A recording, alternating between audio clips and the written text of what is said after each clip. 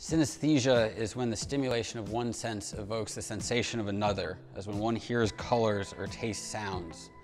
It occurs when the wires in the brain are crossed. So what we're doing with this collection is we're, we're mixing these different inputs that aren't normally put together to produce something that's unexpected and not easily defined, but completely overwhelms the senses.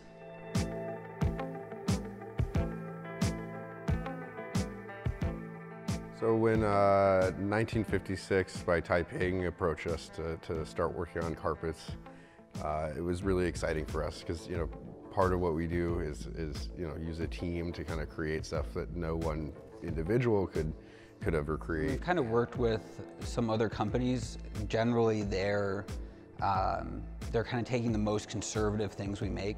And really the great thing about working with Tai Ping is it's been the opposite, that they wanted to push things sort of as far out as we could take it and really wanting to do the most, the most radical, the most interesting, sort of the most unique design rather than trying to bring it back to something that was safe. They were, were really, um, you know, they were really interested in, in, trying to get it as far away from that as possible. So it, has been a really gratifying uh, process putting this together.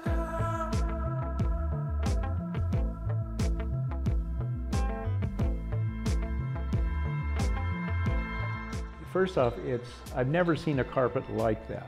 Okay, if you've never seen anything like that, that's a big deal in itself. And a lot of times, it, it's not one of these uh, warm, wonderful, you know, kind of huggy, feely things. It's kind of like, whoa.